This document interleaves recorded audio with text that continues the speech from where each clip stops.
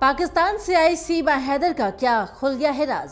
दरअसल, यूपीएटिस की टीम को सीमा से पूछताछ के दौरान कई अहम जानकारियाँ मिली हैं और सीमा हैदर ने यूपीएटीएस को अपना असली नाम बता दिया है और यूपीएटीएस को सीमा हैदर के भारत आने का मकसद भी पता चल गया है। पाकिस्तान से भागकर भारत में आई महिला सीमा हैदर से एटीएस की पूछताछ अभी भी जारी है और फ़िलहाल एटीएस के पास सवालों की अभी लंबी लिस्ट है। लेकिन उसने कुछ सवालों के चौंकाने वाले जवाब भी दिए हैं। हालाँकि वो अकेले नहीं, बल्कि अपने चार बच्चों के साथ भारत आई है। सीमा और सचिन का दावा है कि ये दोनों ही एक दूसरे से प्यार करते हैं और इसीलिए उन्होंने नेपाल के पशुपतिनाथ मंदिर में शादी कर ली। फ़िलहाल इन दोनों से यूपीएटीएस अभी भी सवाल जवाब कर रही है और इस दौरान सीमा के नाम मारिया खान की सच्चाई सामने आई है। दूसरी ओर, सोशल मीडिया पर लोगों का कहना है कि सीमा हैदर कोई आम महिला नहीं है, बल्कि पाकिस्तानी जासूस है।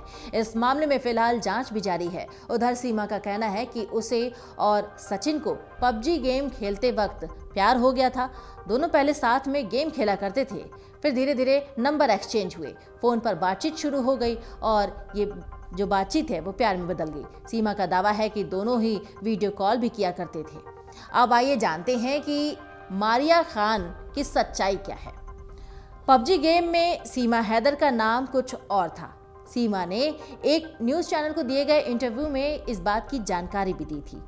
सीमा ने बताया कि उसने अपनी आईडी मारिया खान के नाम से ही बताई थी, क्योंकि उसके यहाँ लड़कियों का असली नाम सोशल मीडिया पर लिखना सही नहीं मानते। सीमा ने इंटरव्यू में गेम की सभी बारीकियाँ भी बताई। उसने कहा कि वो रात के वक्त इसे खेला करती थी और धीरे धीरे इसमें मज़ा आने लगा उसको। गेम खेलने के दौरान ही उसे 2020 में सचिन से बातचीत शुरू हो गई। नंबर एक्सचेंज हुए, उससे दोस्ती हुई, उसके बाद बातचीत में जो बातचीत है वो प्यार में बदल गई। सीमा ने यह भी बताया कि उसने सचिन को बाद में बता दिया था कि उसका नाम मारिया खान नहीं, बल्कि सीमा हैदर है। सीमा ने बताया कि इस गेम में ही चैटिंग करने का ऑप्शन भी होता है।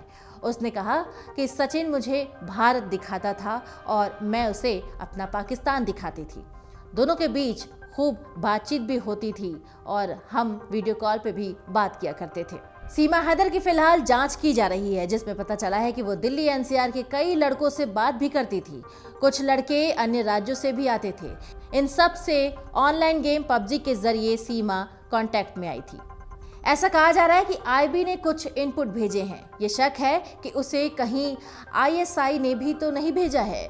एटीएस उसके सभी पासपोर्ट्स, आधार कार्ड और बच्चों से जुड़े दस्तावेजों की जाँच भी कर रही है। साथ ही साथ सीमा के टूटे हुए फ़ोन से भी रिकवर डाटा की जाँच हो रही है। सीमा हैदर को लेकर एक और बड़ा खुलासा हुआ है। उसे नेपाल से भारत लाने में एक तीसरे शख्स ने मदद की थी। उसने पूरी तैयारी के साथ यहाँ एंट्री ली और उसने भारतीय ग्रामीण महिला का ड्रेसअप किया। इसके लिए पेशेवर लोगों की मदद भी ली गई। उसने बच्चों को भी इसी तरीके से कपड़े पहनाए थे। एजेंसियों का कहना है कि इस तरीके का इस्तेमाल ह्यूमन ट्रैफिकिंग या फिर जिसमें फरोशी रैकेट में शामिल महिलाएँ भारत नेपाल सीमा पार करने के लिए करती हैं। जिस तरह से भाषा वो सीमा बोल रही है, वैसी ट्रेनिंग पाकिस्तानी हैंडलर नेपाल में उन महिलाओं को देते हैं, जिन्हें गैर कानूनी तरीके से नेपाल सीमा पार करा के भारत में प्रवेश कराया जाता है। लेकिन ये पूरे मामले की सच्चाई क्या है, अभी कुछ स्पष्ट नहीं है। एटीएस अभी भी जाँच कर रही है और सीमा को लेकर क्या फैसला सामने आता है? सीमा को पाकिस्तान भेजा जाएगा या फिर उसका केस भारत में ही चलेगा? ये तो आगे देखने वाली बात होगी। अमर उजाला, अब आपके टीवी पर भी। अपने स्मार्ट टीवी पर यूट्यूब पर सर्च करें अमर उजाला। चैनल सब्सक्राइब करें और देखें ताज़ा खबरें। वो भी HD क्वालिटी में। और हाँ बेल आइकन दबाना ना भूलें। ताकि हर खबर हो आपके घर। अमर उजाला निष्पक्ष निर्भी निरंतर।